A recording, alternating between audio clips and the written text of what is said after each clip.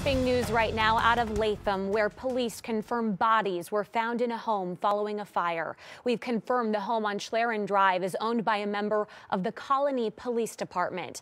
You can see on the map the home is located near Forts Ferry Road.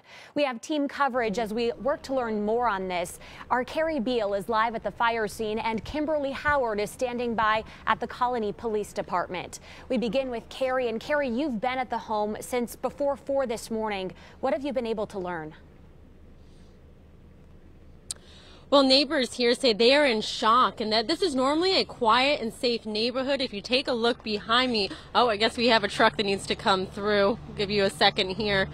If you take a look behind me back there, that is the house that burnt down last night. State and local fire crews are still here examining the structure of the house. We have been here since 3.30 this morning, and it was around that time that two bodies were removed from the house by a stretcher. Police have not identified the bodies, but they say there were multiple deaths. And with news of this, many residents here say it all comes as a surprise.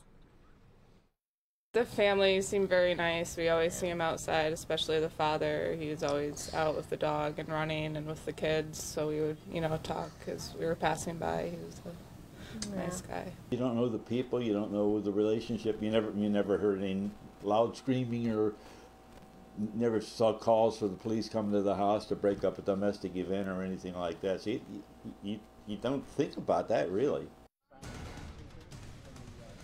still many questions remain. So we are trying to get those answers and get some more developments about exactly what happened here, how it happened, if it was a homicide or an arson or anything like that. None of that has been confirmed yet. So we will keep you updated and continue to follow this story. I'm Carrie Beal reporting live in Latham for CBS 6 News.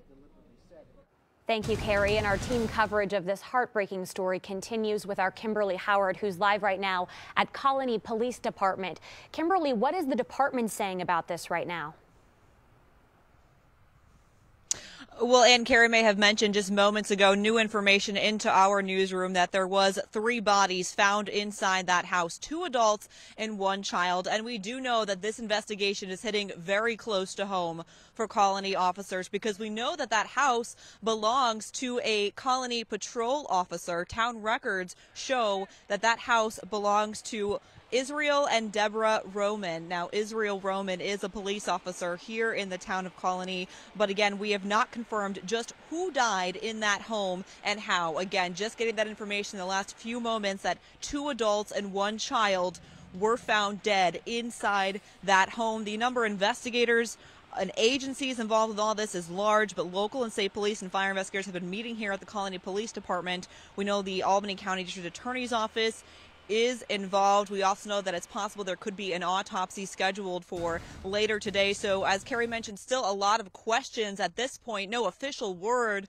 on when we could be getting more information, but we will stay on top of this for you. Continue to keep you updated both on air on and online, and we expect to have much more for you in later newscasts starting at 5 o'clock. For now, though, we're live in Colonie. Kimberly Howard, CBS 6 News.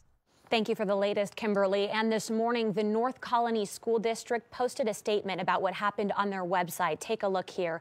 It says in part, we learned of a terrible tragedy involving a family living in the North Colonie Central School District whose home was involved in a devastating fire.